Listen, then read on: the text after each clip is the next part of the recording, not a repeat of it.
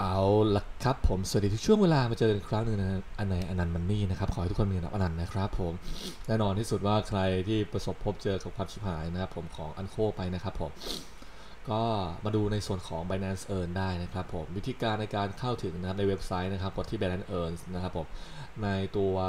โทรศัพท์มือถือก็มีความคล้ายคลึงกันไม่ต่างกันสักเท่าไหร่นะครับผมเดี๋ยวจะทำคลิปอีกส่วนหนึ่งในทาง ในส่วนของโทรศัพท์ให้ดูนะครับผมก็พอเลือก Binance Earn มาปุ๊บนะครับ มันจะเข้าสู่หน้าจอเนี้ครับผมไปเลือกที่ Farming นะครับ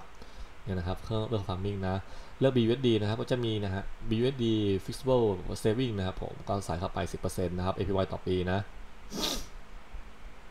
ถามว่าคุ้มค่าไหม ก็ต้องบอกนะครับผมว่ามีความคุ้มค่าไม่น้อยนะ เพราะว่าเทีย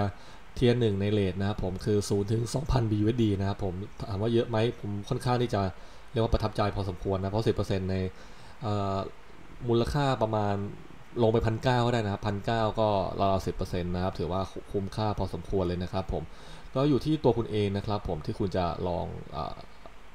เพิ่มเติมนะครับผมในส่วนของการฝากเงินการออมเงินนะครับผมเป็นสิทธิของคุณโดยเฉพาะนะครับผมเพราะเงินอยู่ในมือคุณนะครับ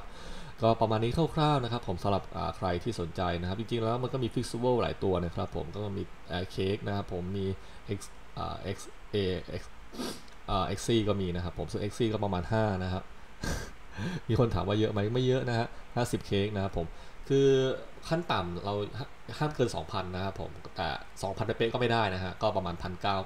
1,990 1,999ก็ได้นะครับผม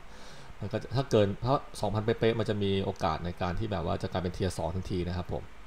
ก็สำหรับใครนะครับผมที่สนใจก็มาลองดูได้นะครับผมผมคิดว่าไม่ได้มีอะไรยุ่งยากขนาดนั้นนะครับผมสำหรับการฝากเงินการออมเงินนะ และอย่างหนึ่ง BUSD เนี่ยมันมีมันเป็น fixable นะครับผมก็คือการปรับเปลี่ยนมันไม่มีนะฮะนั่นหมายความว่าช่วงเวลานี้ยังเป็น tick rate ตัวนี้อยู่นะครับผมใน